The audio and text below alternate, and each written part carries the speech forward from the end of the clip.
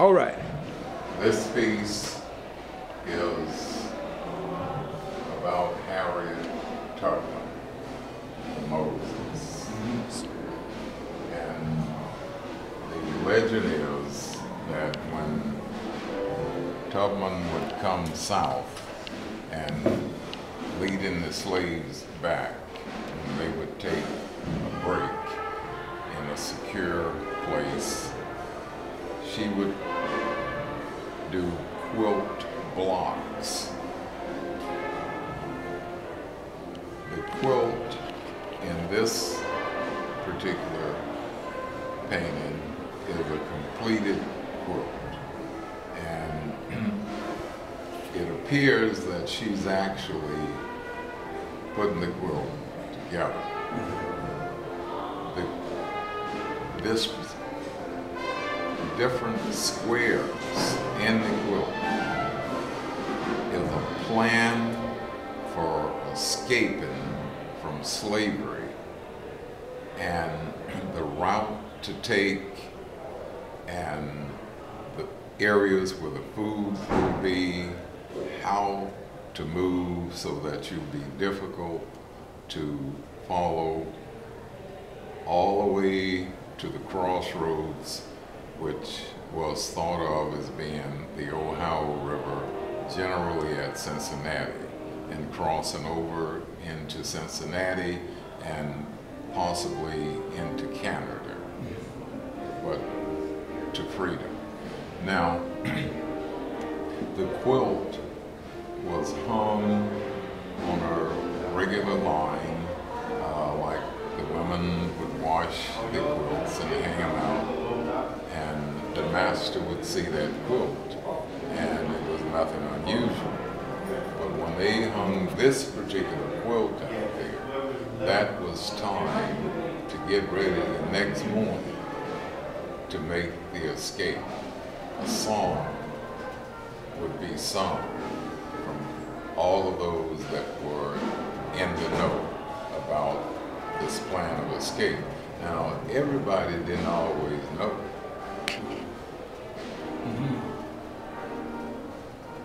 Everybody didn't always know. And that has to do with that factor that we talk about as being the Uncle Tom factor. See, Uncle Tom wasn't in the loop. So they would sing this song, and the Negro spirituals,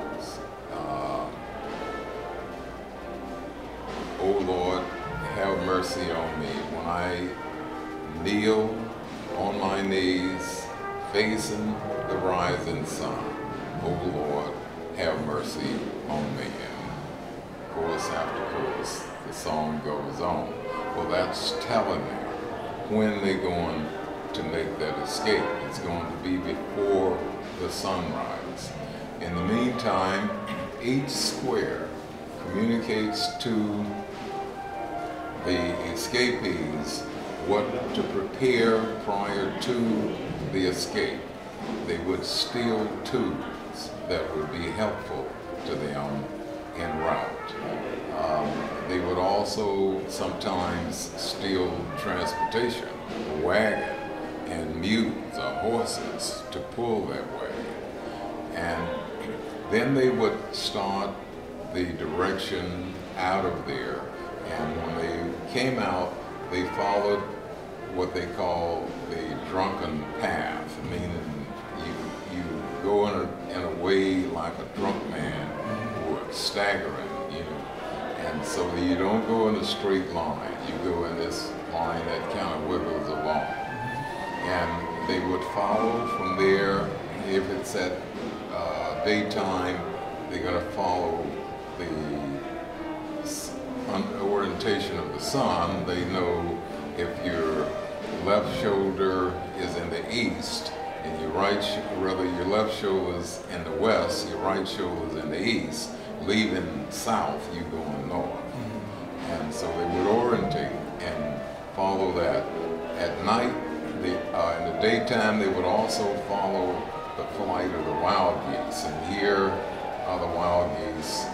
And this particular square here, and they are in there in other places as well. They would follow the bear track, which you see over here. And the bear track um, was uh, the route that you follow to find the food. Because if the bear could find the food, and there was food there for you too, like berries and uh, honey and a lot of other good things like fish as well. So you follow the bear track. And if it was at night, they would follow the North Star. And when they would get to the crossroads, which is indicated here, that would be the Ohio River and generally uh, to Cincinnati. So they would need to get across that river. And there was always some someone there that was in on this plan, and a boat would be waiting to get them across to the other side. When they got across to the other side, this block um, here is to dig a cabin, which was to make a uh, log cabin, and this red square in the center of it represents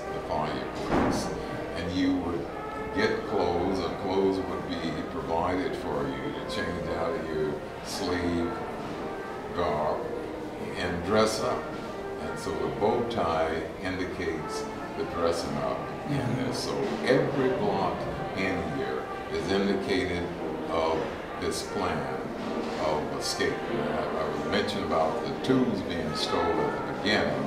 This one here, I believe, um, my memory serves correctly, that's uh, one that indicates two.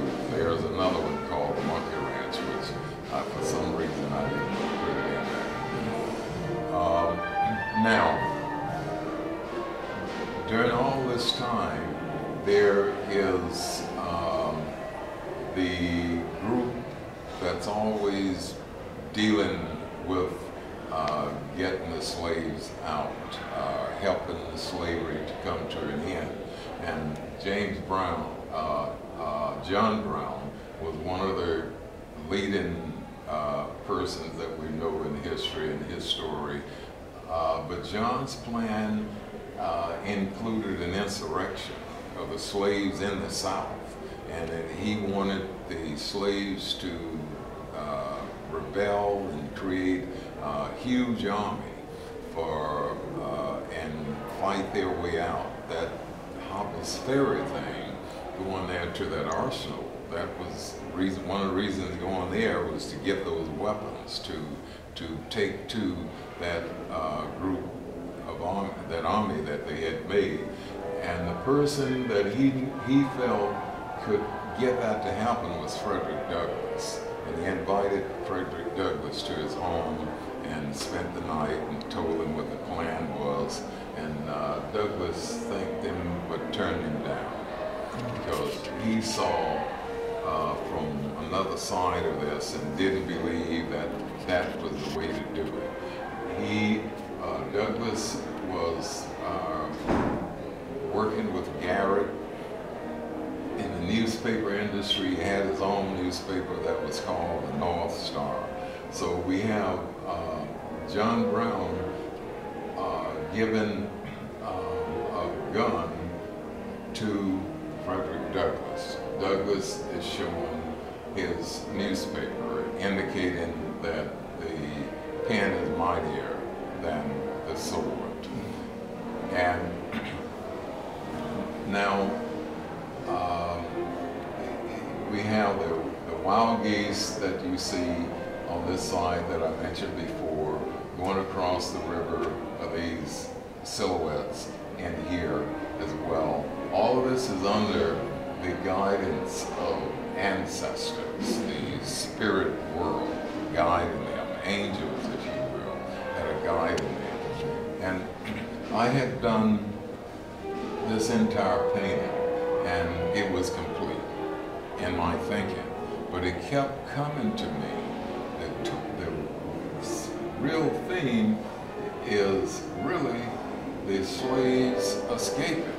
And I, they have the hero of that, but there is no slave here that we can really see. So this figure, uh, the way I imagine it was very much like you see it here, but there was no room. There was no place on this space that I was working on for it.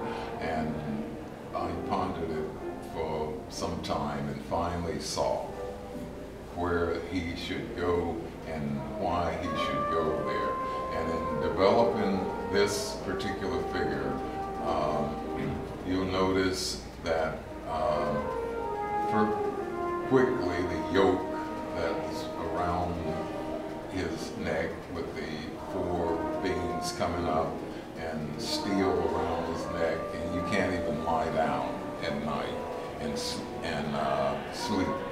And they he was would be a habitual runaway, so they put bells on it so that they could hear and knowing where he was all the time.